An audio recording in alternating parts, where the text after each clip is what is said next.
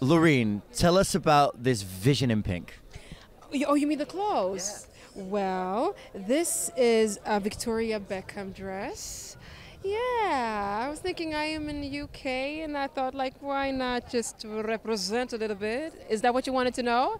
oh, yeah, okay, okay. So the, the dress, that's the, the dress. And then you want to know what the shoes are or what? Um, I also want to know about this henna because I see a lot of henna. Oh, yeah, it's like I made some new henna. It's black henna, but I made it actually yesterday, or I had somebody make, make it for me. So I was like s- sitting for hours just letting her do it, redo it again. Like it's a very spiritual thing to do.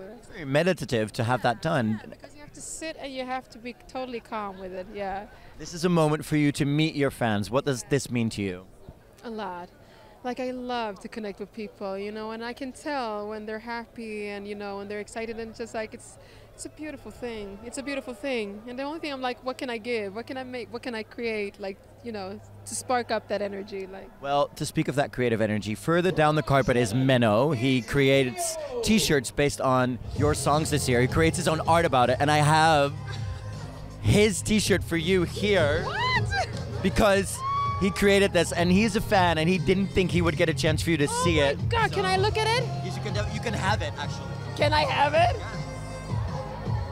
Lotta!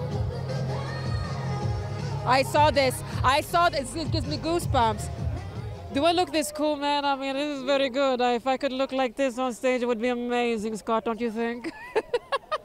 it's beautiful. Thank you so much. What's his name? His name is Menno. He is standing a little further down on the left side of the carpet, but he didn't think he'd get a chance to give it to you. So, what does he look like? What does Menno look like? I will point him out to You you. have to one point second. me. He is standing right over there. Look over there. Menno! Menno! Wave! Is this you? You're an amazing creator, darling. This is amazing. You make me look good, man.